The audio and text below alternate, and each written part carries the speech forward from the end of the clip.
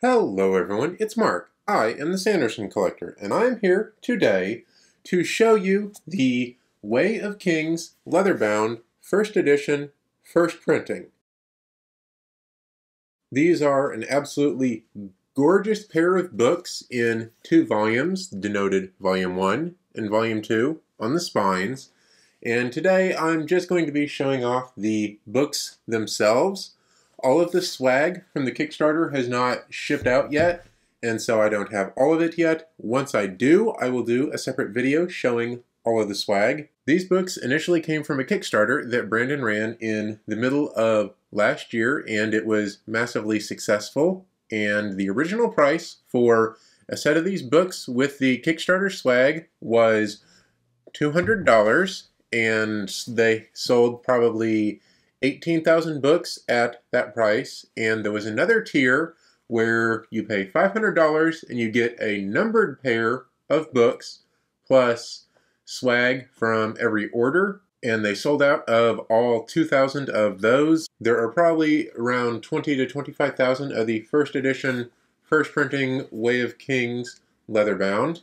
And they are shipping out in two waves. There was a wave for those who got their orders in very quickly in the first 10,000 books.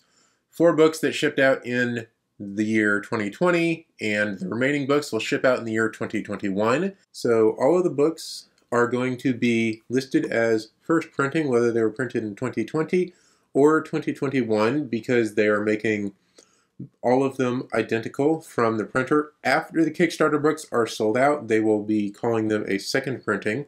The way to identify the first printing is, as always, to check the copyright page up front and look for the full number line that ends with the number 1.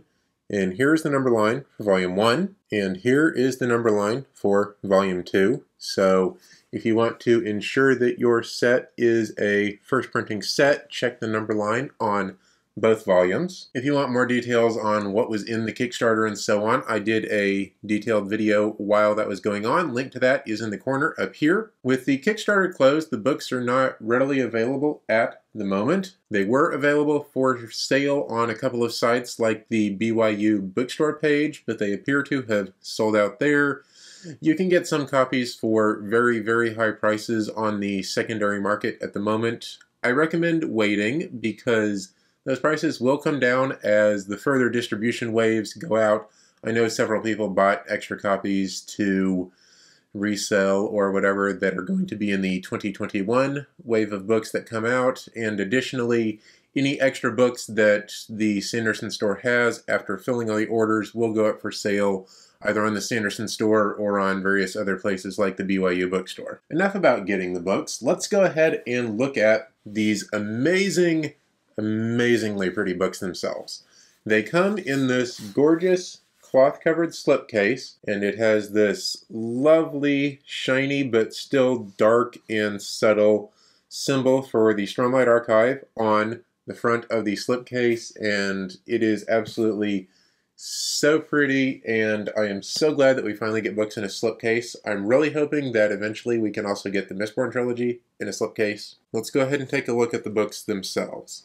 Each book has the symbol of the Windrunners on the front. So here is volume one and volume two, and they are absolutely stunning with the blue embossed foiling for the Windrunner symbol and the gold foiling to offset that, just like on the spines. On the back of the books, we have quotes, speak again the ancient oaths, life before death, strength before weakness, journey before destination. The first ideal of the Knights Radiant. I love that they put these on there instead of leaving them blank or just copying the symbol from the front of the books.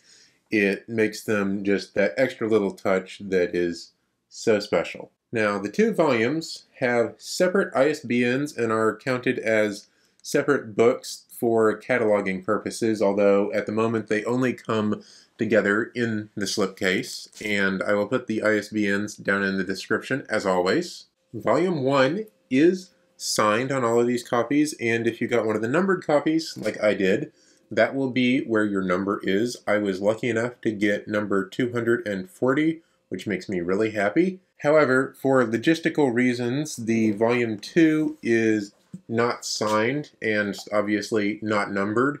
If you want to track down Brandon at an in-person event once the virus has subsided and Brandon is doing those again, he will happily sign Volume 2 for you, and I bet if you bring in Volume 1 with a number on it, he will match that number for Volume 2. Inside the books, there is a ton, a ton of gorgeous art.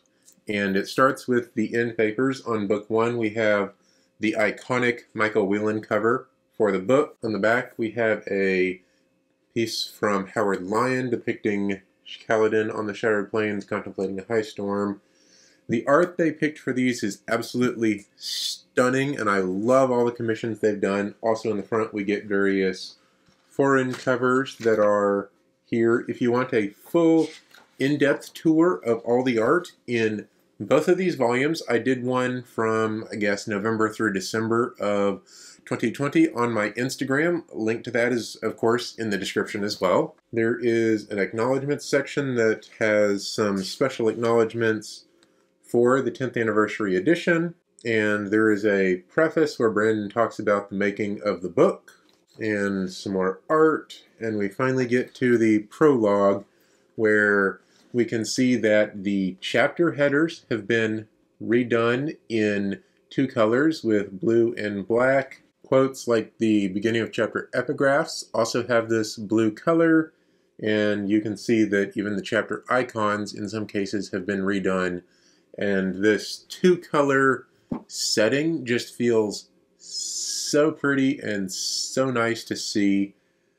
And in future books where the order's color is different, the color is based on the gemstone for each Order of the Knights Radiant, and the Windrunner gem is sapphires, which are usually blue. And we can also see that they have done a two-color scheme for the artwork that was included in the original of The Way of Kings, and it just adds that extra touch that makes it so nice.